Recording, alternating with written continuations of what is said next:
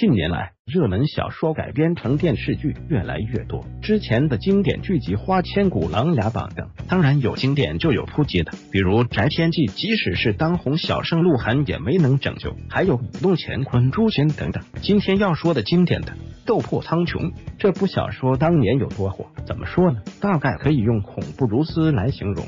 这部电视剧不可避免的会用到各种特效，小说中各种天马行空的想象、斗气化意、各种神兽、武技等等。当时看的时候，那就叫一个热血；再看看电视剧，那叫一个惨不忍睹。片中的各种强者，不管是斗士、斗王、斗宗、斗皇，想出门没问题。骑马虽然在雪山中策马奔腾的场面也很壮观，但是对于这样一部玄幻电视剧来说，实在是令粉丝失望。拿这部剧的特效和之前热播的《香蜜沉沉烬如霜》做了对比，没有对比就没有伤害。既然是玄幻剧，就按玄幻剧的方式来，是不是？工作人员出面还要解释下雪山拍摄不能带大型威亚设备，如果要做出斗气画意的效果，观众还得等半年。这解释真的是让粉丝难以接受的。有粉丝表示。